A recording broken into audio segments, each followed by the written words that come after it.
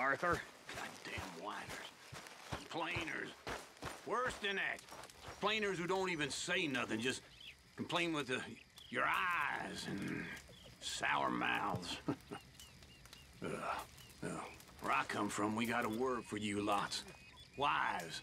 That's what you become. Wives.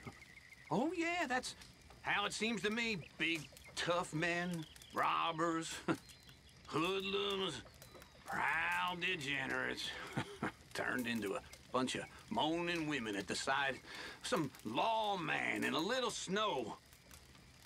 I ain't never seen anything so disgusting in my whole time. I- I met a lot of women, but you boys just about turned into the most womanly of all of them. And that's the truth. All right. Oh, quit pretending you're a lawman.